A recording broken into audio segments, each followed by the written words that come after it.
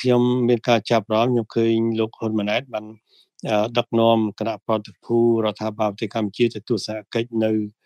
ប្រទេសសិង្ហបុរីហើយបានប្រកបប្រកាសតាមបណ្ដាញសារព័ត៌មានថាដំណើរទស្សនកិច្ចនេះគឺគាត់ចង់ធ្វើឲ្យប្រទេសកម្ពុជាคล้ายទៅដូចជាប្រទេសសិង្ហបុរីហើយចំពោះខ្ញុំខ្ញុំថា ការមានឆន្ទៈពិតប្រាកដវាជារឿងល្អព្រោះបានប្រទេសកម្ពុជាคล้ายទៅជាដោយប្រទេសសិង្ហបុរីជារឿងមួយដែលខ្ញុំចូលរួមអបអរសាទរហើយខ្ញុំមានតការគ្រប់គ្រងហើយនឹងការគ្រប់លើកទឹកចិត្តដូច្នេះខ្ញុំថាវាជារឿងល្អបើសិនបើទៅអញ្ចឹងមែនប៉ុន្តែចំពោះខ្ញុំខ្ញុំថាការលើកឡើងនេះវាគ្រាន់តែជា សម្ដីប្រជាពិធគ្រាន់តែជាសារនៃការធ្វើឲ្យប្រជាប្រដ្ឋសង្ឃឹមប៉ុន្តែវាហាក់ដូចជាសង្ឃឹមនៅអ្វីដែលมันมันមានពិតប្រកបហើយអ្វីដែលគេពិបាកនឹងជឿថាអាចនឹងទៅដល់ហើយចំពោះខ្ញុំខ្ញុំថាវាពិបាកនឹងជាក់លាក់នៃការជឿលើសារនយោបាយរបស់អ្នកដឹកនាំខ្មែរបច្ចុប្បន្នត្រង់ថា យើងមើលទៅលើស្ថានភាពជាក់ស្ដែងនៃការដឹកនាំការរៀបចំ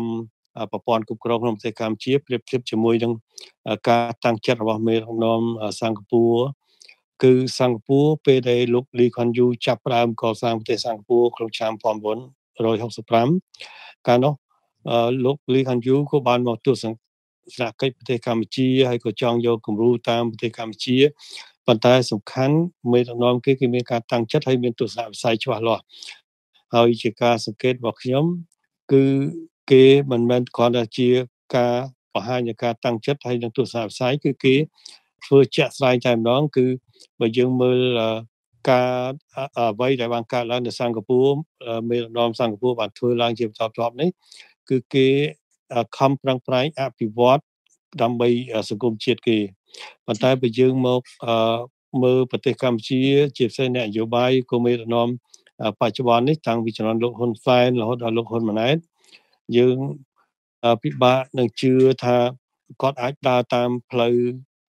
កន្លងនៃមេដឹកនាំសង្ឃបុរីបាន ហើយជាការសង្កេតរបស់ខ្ញុំវាផ្ទុយនេះត្រង់ថាស្អីដែលមេដឹកនាំខ្មែរលើកឡើងថាខំអភិវឌ្ឍហ្នឹងគឺខំអភិវឌ្ឍ ដើម្បីសង្គមគ្រួសាររបស់ពួកគាត់ជាជាងការអភិវឌ្ឍដើម្បីសង្គមជាតិអញ្ចឹងវាវាវាវាប្រព័ន្ធដឹកនាំខ្មែរយើងវាផ្ទុយវាវាផ្ទុយពីប្រព័ន្ធដឹកនាំរបស់សិង្ហបុរីហើយហើយសារនយោបាយវាដូចគ្នាប៉ុន្តែអ្វីដែលជាទង្វើហ្នឹងគឺវាផ្ទុយគ្នាសិង្ហបុរីយើងឃើញជាក់ស្ដែងហើយលទ្ធផលវាហុចជាក់ស្ដែងអញ្ចឹងគឺគេខំប្រឹងអភិវឌ្ឍដើម្បីសង្គមជាតិដល់យើង ជាក់ស្ដែងកន្លងមកនេះគឺខំអភិវឌ្ឍដើម្បីគ្រួសារមានន័យថារាល់គម្រោងអភិវឌ្ឍរាល់ការតាក់តែងច្បាប់គឺ